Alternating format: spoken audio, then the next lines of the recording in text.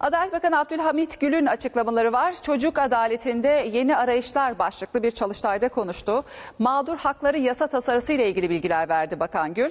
Kurumların görüşüne sunulan bu tasarının boşanma süreçlerinde çocukların korunmasına yönelik düzenlemeler de içerdiğini ifade etti. Mağdur hakları kanun tasarısı üzerinde çalışmalar tamamlanmış ve ilgili kurumlardan da görüş almak üzere görüşe sunulmuştur.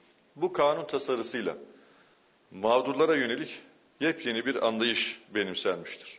Sanık haklarına zarar vermeden mağdura tanınan hakları güçlendirmek, sanık mağdur dengesini kurmak ve onarıcı adalet uygulamalarını geliştirmek amaçlanmaktadır. Boşanma dava süreci ve sonrasında ebeveynler ve özellikle çocuklar açısından zorlu bir süreç olarak karşımıza çıkan çocuk teslimi ve çocukla görüşmeye dair kararların yerine getirilmesi konusunda da yeni düzenlemeler içermektedir.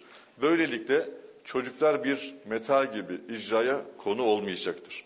Tamamen yeni bir modelle psikolog ve pedagoglar gibi uzmanlar aracılığıyla yıpratılmadan ve yara almadan ebeveynleriyle görüşmesi sağlanacaktır.